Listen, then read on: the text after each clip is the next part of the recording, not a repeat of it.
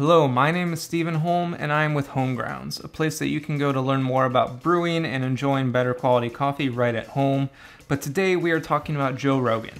If you're not familiar with who Joe Rogan is, he is a comedian, actor, podcast host, but probably most importantly, he is the cousin of Gerard Way, the lead vocalist of My Chemical Romance.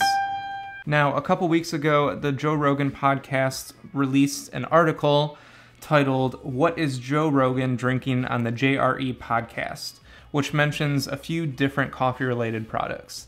And being a self proclaimed coffee expert, I figured I should probably try them. So, that's what we're doing here today.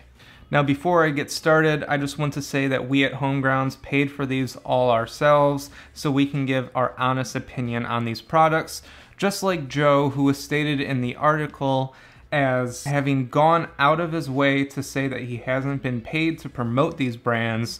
He just really likes them. So let's get to tasting Joe Rogan's favorite coffees. First up, we have the Nitro Cold Brew Coffee from Caveman Coffee Co. This can states that it has over 200 milligrams of caffeine, which is about one and a half times the amount that you would find in a brewed coffee, which is pretty typical for cold brew coffees. On their website, they say that this is a blend of premium South American coffees cold brew for 12 plus hours. This says to shake it a couple times and then pour it out. So let's give it a try. So as you can see, it looks pretty good. It has a nice head on the top. Nothing left to do but give it a taste. It's not bad. I don't know if I would say that it's good, but it's not bad. It seems like what they have chosen to done here is under extracted a little bit, so it's actually kind of underwhelming with the taste. It almost just tastes like slightly coffee flavored water, which is fine for me because there's a lot of bad coffee out there that I really don't enjoy drinking, which will probably see here pretty soon. But the texture is nice with that nitrogen. I can see why people would like this. It's pretty smooth, it's really easy to drink, and if it has 200 milligrams of caffeine, I'm sure it's gonna wake you up pretty well. I think these are a little expensive at like $3 a can, but I think you can buy them bulk and save some money. So first one that we've tasted today, not bad. I have a lot more caffeine to drink, so I am not going to finish this. All right, next up we have coffee from Black Rifle Coffee Company. This is their CAF blend or caffeinated AF.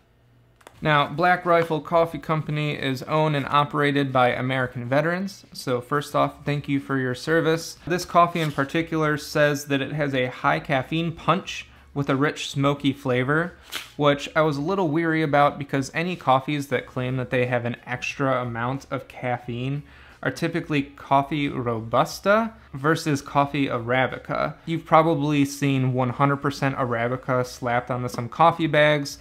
Basically, arabica and robusta are coffee species. Robusta is easier to grow, it's more weather and pest resistant. However, it just doesn't taste as good as Arabica. So I did a little digging on their website and chatted with one of their customer service reps and found out that this coffee is in fact not 100% Arabica.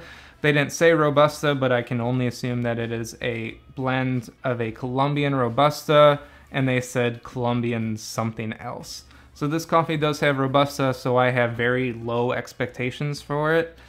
But I guess we only have to brew it and find out. All right, here we go. Let me just say that I've brewed a lot of bad coffee over the years, but this smells not just like bad over roasted coffee smells. There's like, there's something else going on.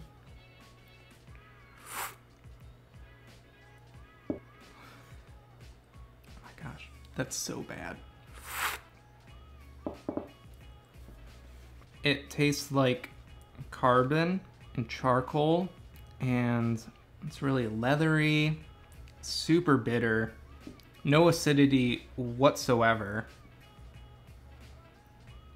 There is nothing pleasant about this coffee for me.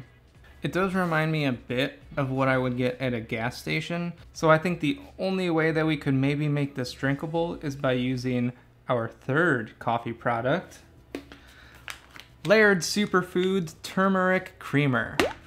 So this is a powder-based creamer that is gluten-free, vegan, non-GMO, dairy-free. Pretty good ingredients. Uh, looking at Laird's website, it looks like they just make a lot of these superfood powders that you would use to throw in coffee or like a protein shake sort of thing. And this turmeric flavor, Joe Rogan says that it's so delicious he's addicted to it. So let's see if it makes this coffee any better. So looking in here, it's very yellow. Wow. It actually smells really good. We're just gonna follow the instructions that are on the back here. It says, for best taste, add one tablespoon to eight ounces of hot coffee or tea, then froth or shake in a reusable bottle. Um, oh yeah. And let's give that a shot.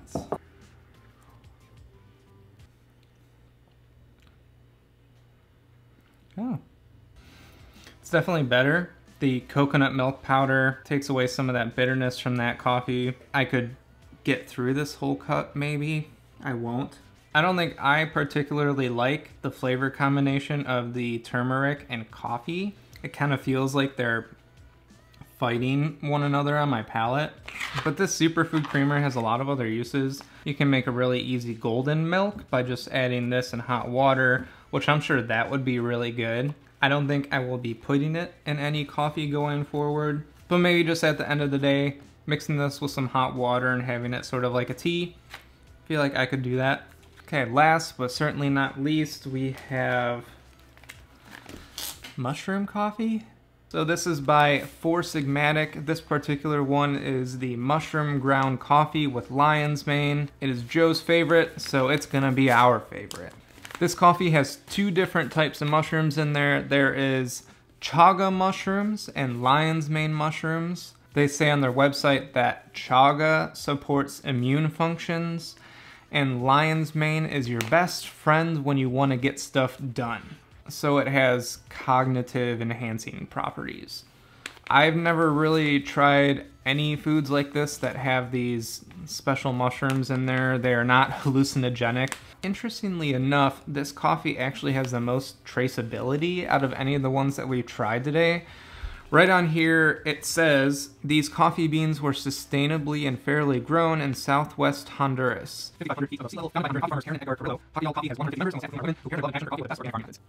So that's nice to see on a coffee bag, even though it has mushrooms in it. So on their website, they claim that this coffee doesn't taste anything like mushrooms. I would sure hope not. This coffee, unfortunately, is also pre-ground, but I think they only sell it pre-ground because it has to be combined with the mushrooms. It doesn't really smell like mushrooms. It kind of just smells like old coffee. All right, let's get brewing this thing. All right, so it's brewed. There is something like sort of earthy about it. And a lot of coffees can have earthy characteristics. That's not necessarily a bad thing. But given that this is mushroom coffee, I'm wondering if that earthiness is coming from the mushrooms or the coffee. I don't know. While this is cooling down, I also just realized this coffee says that it's a dark roast, so that's fine. But this Black Rifle coffee says that it's a medium roast. Just look at these two coffees side by side now, there's no like official legal designation for what a medium or a dark roast or a light roast is, but this is not a medium roast and it makes me scared of what their dark roast is. And I'm pretty sure on their website they even have an extra dark roast. Yeah, this is not a medium roast. Anyways, back to the mushroom coffee. Huh? Kind of just tastes like a dark roast coffee. I really don't taste anything odd about it. It smells a little earthy, but I think that's just the coffee. If you like dark roast, I don't see anything wrong with this coffee. Not bad. And I also just noticed that on the side of this coffee, it says fair trade single origin and Arabica. So I would say that if you like dark roast coffee, you're not super particular about how it tastes, you just sort of want your dark roast in the morning, and you happen to be thinking lately about how your diet is lacking in mushrooms, then this is a pretty good option for you. Good job, Four Sigmatic. In fact, I think if I take the power of mushrooms and combine it with the power of the superfood turmeric creamer, this could, I don't know, I don't know what would happen. Let's give this a shot. I'm gonna try pouring it into here and shaking it. Yeah. Ooh, and that's nice.